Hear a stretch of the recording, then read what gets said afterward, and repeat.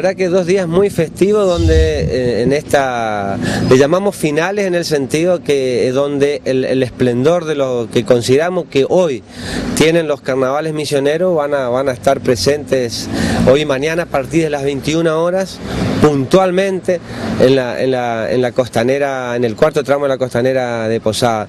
Y la verdad que hoy, por ejemplo, quienes se arrimen, primero por primera vez, eh, pero pasamos largamente los 140 metros de tribuna y eso es bueno porque queremos empezar a darle más comodidad para que la gente vea mejor. ¿Con qué se van? A diferencia del año pasado, en la costanera, por ejemplo, hay por lo menos dos o tres gradas más. Eh, sí, sí, sí, sí, inclusive hay otra que se está armando, el, el interior, los que algunos colaboraron, creo que todos entendieron y también eh, hay una cosa, le gusta venir a, a, las comparsas del interior de la ciudad de Posada. Hoy la verdad que vamos a tener la, la, presencia de las mejores comparsas, no solo de Posada, sino también las más importantes del interior.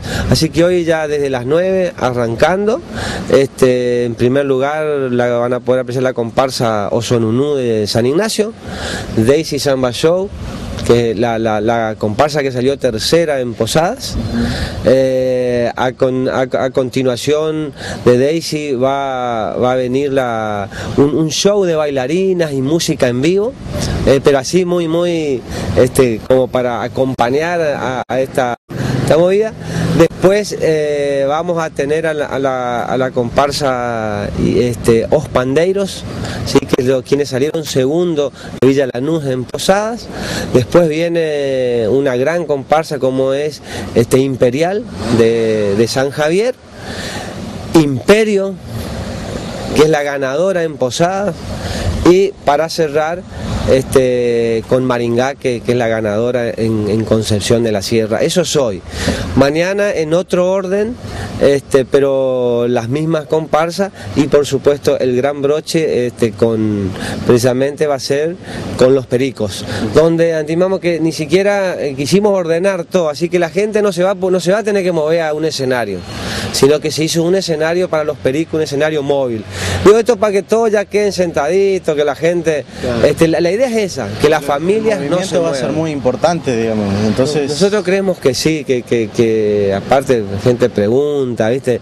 Este, creemos que, que, va a ser importante y eso es lo que lo que queremos también, digamos que sea por sobre todo un, una fiesta popular, pero de las familias. Entonces también está previsto que termine en, en un horario prudencial a la, a la noche. Digamos. ¿Cuánta gente estuvo el año pasado y por el movimiento que hubo este año aparentemente va a haber más? Ya, yo no recuerdo el año pasado, pero, pero te digo, fácil, 50 mil personas, te digo, este, y algo más. En realidad fue una, una, sola noche. Uh, unas 50 mil pasaron seguro. Este año lo hacemos dos noches, precisamente también como para que, aprovechando que es lo, los feriados de carnaval también, como para que la gente pueda de alguna manera eh, programar si parece hoy vamos más temprano, mañana vamos en otro horario, nos quedamos para los pericos, así que hoy y mañana grandes festejos, digo, de esto que los carnavales, que no dejan de ser también una, la, las grandes fiestas más tradicionales, populares de, de, del mundo entero.